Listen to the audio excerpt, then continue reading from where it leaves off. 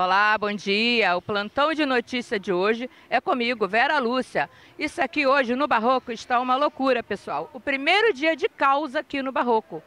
Por conta da inauguração da obra, que será hoje às 16 horas, o trânsito está sendo desviado. Então, os motoristas estão perdidos e muita gente está reclamando, porque não sabe para onde vai e para onde vem. Né? Mas isso logo, logo vai acabar. A praça vai ser inaugurada às 16 horas e vai ficar uma beleza. Tá muito bonito isso aqui. Aqui, Vera Lúcia do Plantão de Notícia. Bom dia.